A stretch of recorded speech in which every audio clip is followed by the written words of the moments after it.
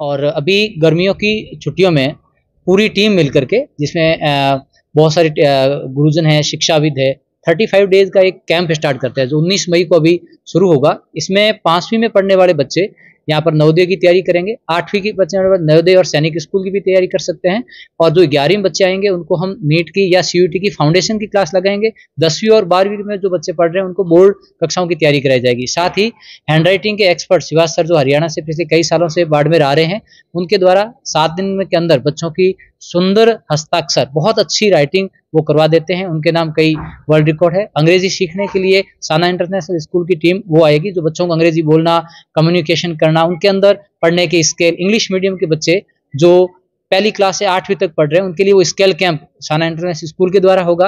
Camp सुबह से लेकर शाम तक चलेगा। सुबह पढ़ाई भी हो जाएगी। प्रार्थना सभा एक घंटे की होगी, जिसमें बच्चों को मॉरल से रिलेटेड बातें बताई जाएगी, ताकि बच्चे बोलने, बैठने, बात करने से लेकर के अपने पढ़ाई और आगे करियर के बारे में समझ सके।